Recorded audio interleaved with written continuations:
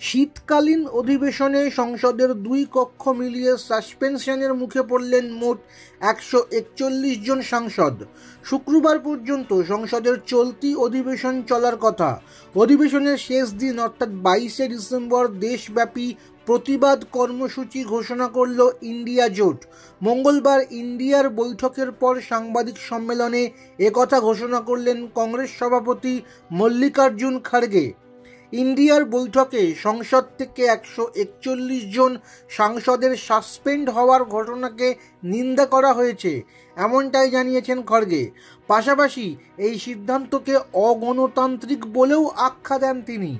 মঙ্গলবার জোটের বৈঠক শেষে সাংবাদিকদের মুখোমুখি হয়ে তিনি বলেন, গণতন্ত্রকে বাঁচাতে হলে সকলকে একসঙ্গে লড়তে হবে। আমরা লড়াইয়ের জন্য তৈরি। সংসদে যে সকল বিষয়ে প্রশ্ন করা হয়েছিল, তার একটিও ভুল নয়। সংসদের নিরাপত্তা বিঘ্নিত হওয়ার পেছনে কারা জড়িত? কে তাদের ঢুকতে দিল?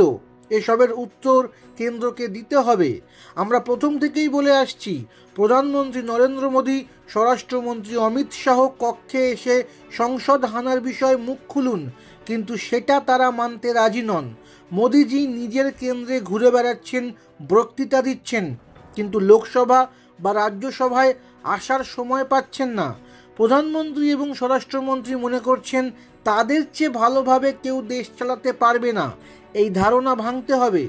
সাংসদদের সাসপেন্ড হওয়ার ঘটনার নিন্দা করে আগামী বাইশে ডিসেম্বর দেশব্যাপী প্রতিবাদ কর্মসূচি পালন করা হবে।